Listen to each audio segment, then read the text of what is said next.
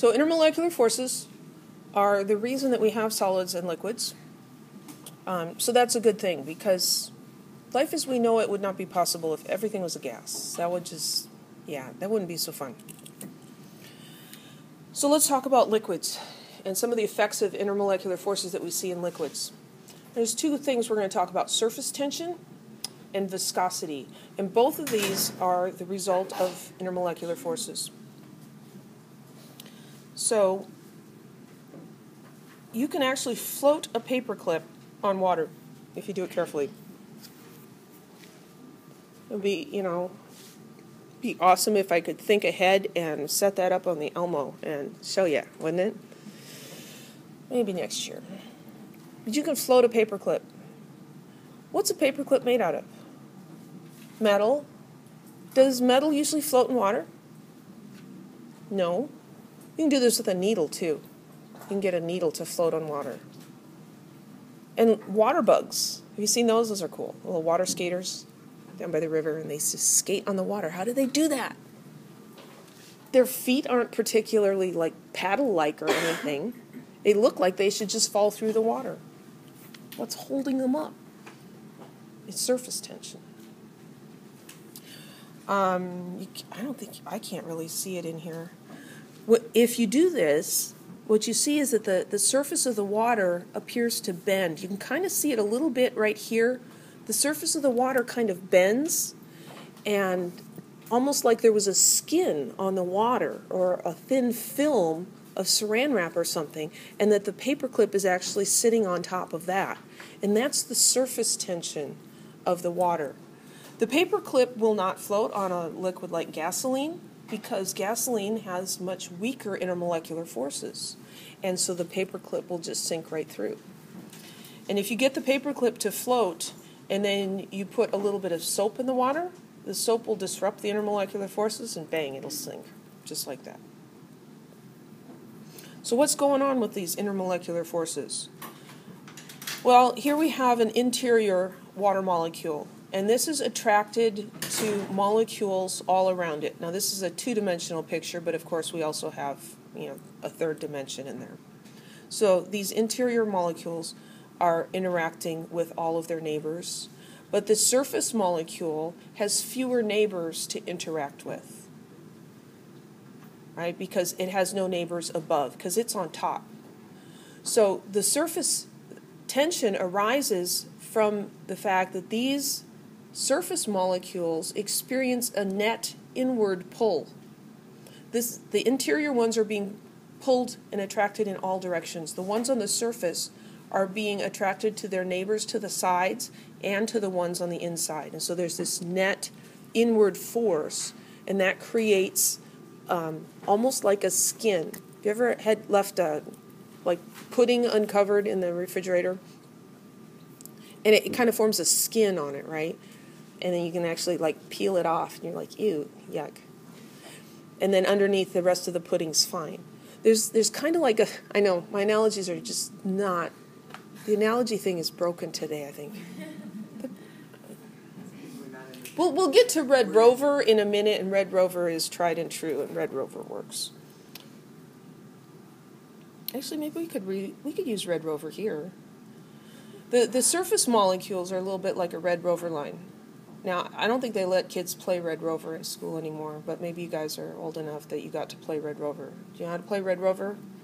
Get a bunch of kids in a line holding hands. And then you got some kids like across the field and you say, Red Rover, Red Rover, send Susie right over. And Susie runs at this line of kids holding hands and tries to break through their hands, right? And now they're like, ooh, that's dangerous, right? We can't let them. They don't even let them play tag anymore. It's really sad. Really? Yes, because they're chasing and running. No wonder our children are getting fat. We don't let them do anything.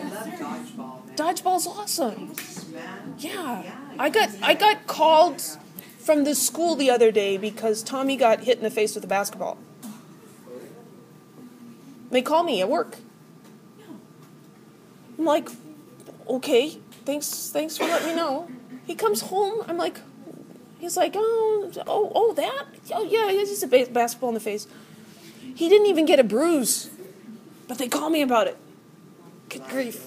Now, yeah, this is, it, it's crazy. Craziness! Anyway, water molecules get to play Red Rover. And so the stronger the forces represents the children holding more tightly to each other, then it's harder for things to get through. So if you've got water, which is more like uh, linebackers on the football team playing Red Rover, it's going to be hard to get through them. You can float a paperclip on top. Gasoline might be more like kindergartners. They're holding hands, but not very, very firmly, and it's really easy to get through them. So the paperclip just sinks right through.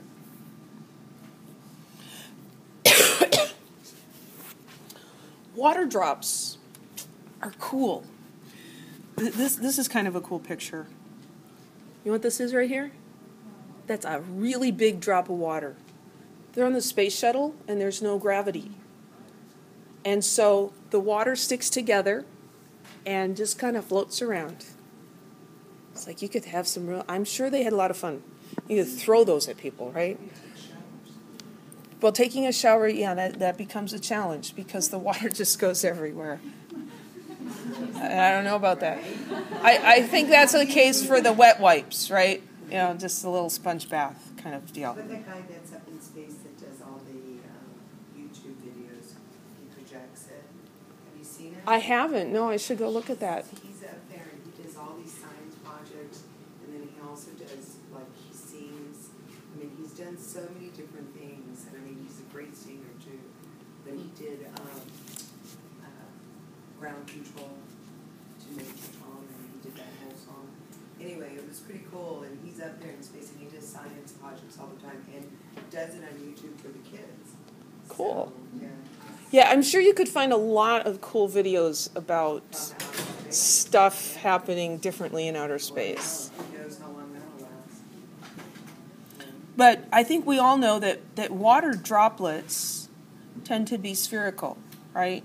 We say, well, that's not perfectly spherical. No, it's not because gravity's pulling it down. But as, soon as it lets off of whatever that object is, it becomes spherical as it falls. And there's a certain size that water drops will tend to form. And that's why, if you ever watch any of those really old, bad science fiction mo- movies, right, where they've done this really bad special effects with the miniatures and the water, you know, you're like, man, something about this whole ocean scene here looks really wrong because the water drops are way too big, right? Because you can't tell water, okay, act like you're a miniature. The water acts like it acts regardless of what size ship you're floating in it. And so things get a little distorted. But the reason that water forms spherical drops is because of surface tension. A sphere is a shape, a geometric shape, with the smallest surface area. If you take the same volume and you make it a square, the surface area is bigger. And so water drops are spherical because they're minimizing the surface area. Viscosity is another one. Viscosity is the resistance of liquid to flow.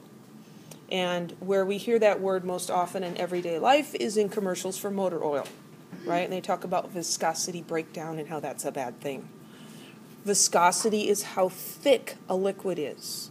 Okay, so maple syrup or honey or corn syrup, it, it pours very slowly because it has high viscosity.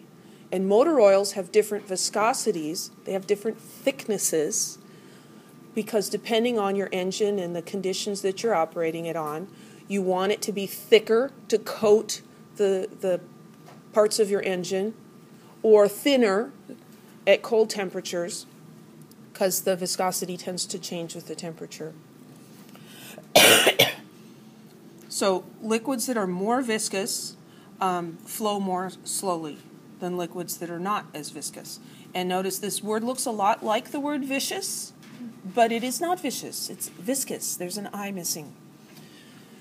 So the viscosity is greater in substances with stronger intermolecular forces because the molecules cannot move around each other as freely, and so that hinders the flow. So water is a fairly low viscosity, it flows easily. Honey flows more slowly because the molecules are stickier to each other. And so they're going to pour, but they're going to pour kind of in slow motion. So high viscosity means high intermolecular forces, strong intermolecular forces. And there's a picture of pancakes just to make you hungry. But see, water would never water would never do that. And you get to things like um, gasoline or alcohol, and the intermolecular forces are even weaker, and so they they flow more easily.